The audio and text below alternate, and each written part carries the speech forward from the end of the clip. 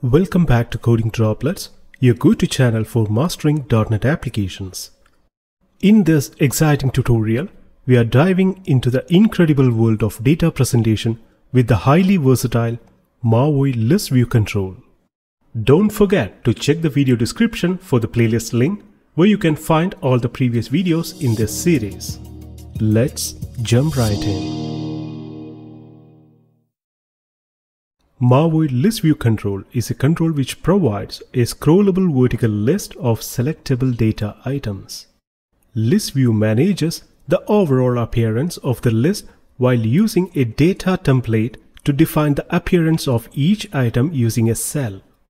.NET MAUI offers various cell types to display combinations of text and images and it also allows to custom cells to display any desired content.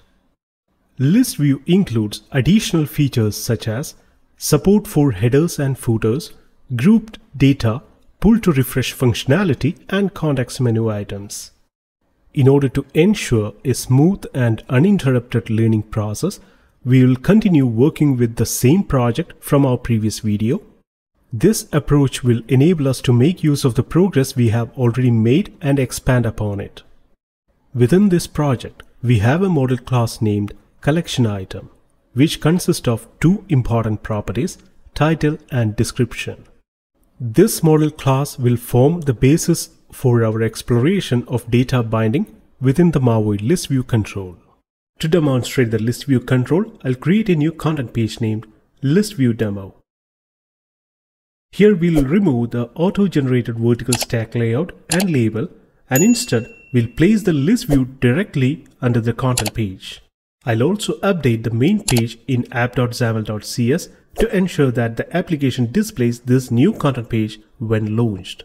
Similar to our previous examples, list view provides an item source property where we can specify the items to be displayed in the list.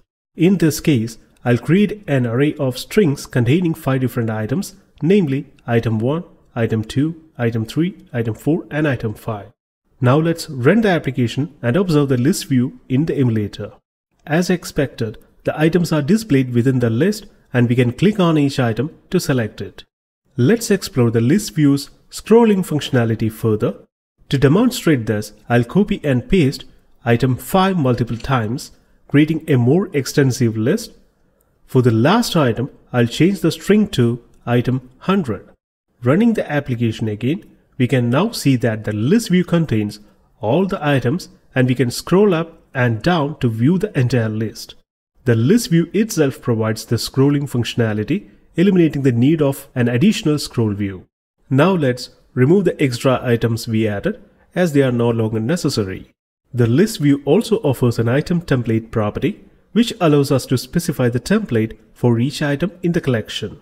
To achieve this, we can use a data template inside the item template. In this case, I'll demonstrate using a view cell. View cell is a custom cell that defines its appearance using a view. Inside the view cell, I'll place a stack layout and assign a background color to it. Within the stack layout, I'll add a label to display the string. The text property of the label will be bound to the data, following the same approach we used previously. Additionally, I'll format the label by providing a different text color and font attributes. Running the application once again, we can observe that the items are now displayed in the list view with a customized design.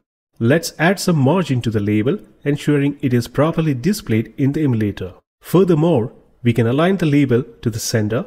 Upon running the application, we can see the label is correctly aligned to the center. Next, Let's explore how we can assign the item source property of the .NET MAUI list view from the C-sharp code and also how to bind complex objects. To begin, in the constructor of the content page class, I'll declare a list of collection item, which is the model class we created earlier.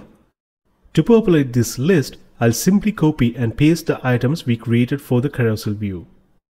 Now let's provide a name for the list view control. Moving on to the code, we can assign the item source property to our list of collection item. Additionally, we need to modify the binding property of the label to title so that it displays the corresponding title from the model class. Furthermore, we'll add another label for the description, To enhance the label's appearance, we can apply formatting and make adjustments to the margin and padding values. The binding property of the second label should be set to description to display the appropriate description from the model class. Now let's run the application in the emulator and observe the list view's appearance. We can see that the labels are properly showing the bound data. However, there seem to be some spacing issues that need to be addressed. To resolve this temporarily, we can remove the padding of the stack layout, which will improve the spacing between items. As you can see in the emulator, the labels now now appear clearer and properly spaced. But I need some padding for the stack layout. We'll ensure that they have a height that accommodates their content. We can achieve this by setting the has uneven rows property of the list view to true.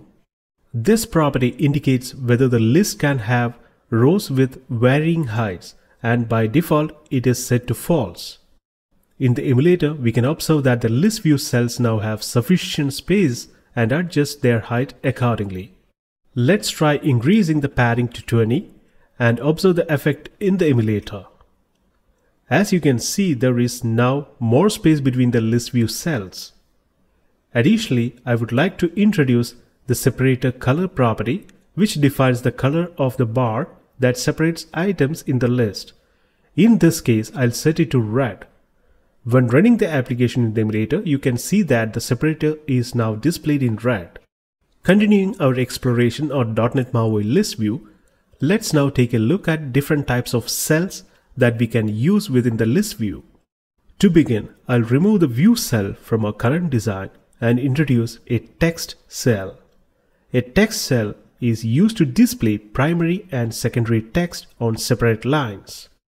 In our case, I'll bind the title property to the text property of the text cell and the description property to the detail property of the text cell.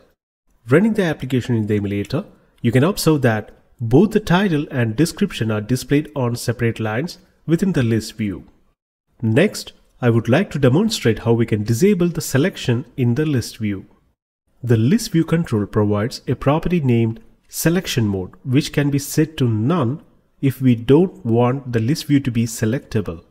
In the emulator, you can see that when I click on an item, it is not being selected due to the disabled selection mode. Moving on, let's explore the switch cell. A switch cell is a cell that consists of a label and an on-off switch. I'll bind the title property to text property of the switch cell. Running the application in the emulator, you can observe that the title is displayed on the left side of each cell accompanied by a switch on the right. By clicking on the switch, we can toggle it on or off.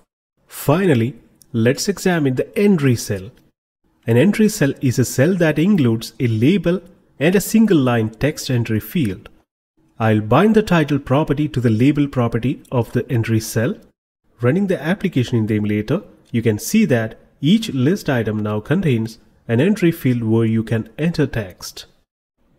As we conclude this tutorial on the MAUI list view control, we hope you now have a solid understanding of how to use this powerful tool to create scrollable lists in your .NET MAUI applications. By leveraging data binding and the flexibility of cell templates, you can seamlessly display and interact with your data. Don't forget to like this video, subscribe to our channel and check out the playlist for complete .NET MAUI tutorial series. Thank you for joining us on this learning journey and happy coding!